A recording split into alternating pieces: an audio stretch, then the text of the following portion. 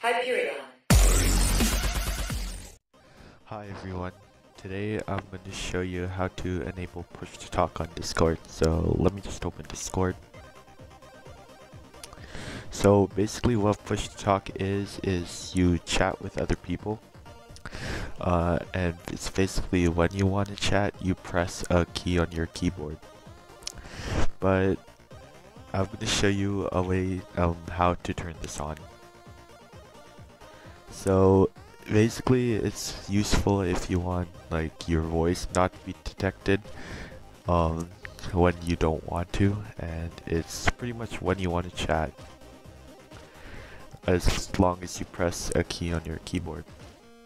It's kind of hard to explain but I'll show you how. So pretty much you go into settings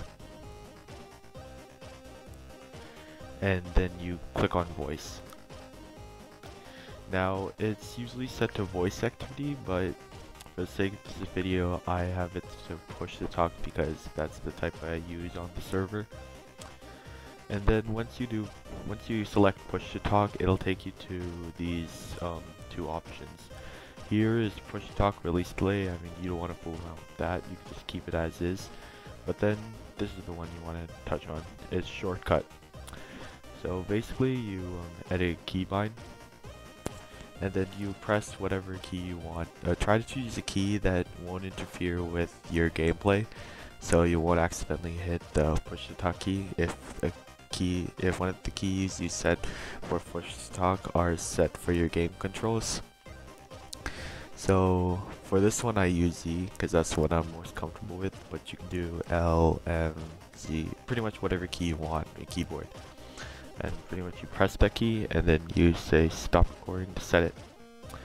And then you just exit and that's pretty much all there is to it. So now when you go on your voice channel you can go to um, any voice channel on your server that you have. And then you press the key. Whenever you want to talk to the person in the same voice channel you pretty much press the key that you set to push to talk and you press the key and then you can talk. So yeah, so that's uh, let me disconnect this now. I'm done. So anyway, that's it for the that's it for this video. Um, thanks for watching. I'll leave a like and comment um, if you want uh, more videos like this, and tell me whatever the tutorials or even any other video ideas I should post.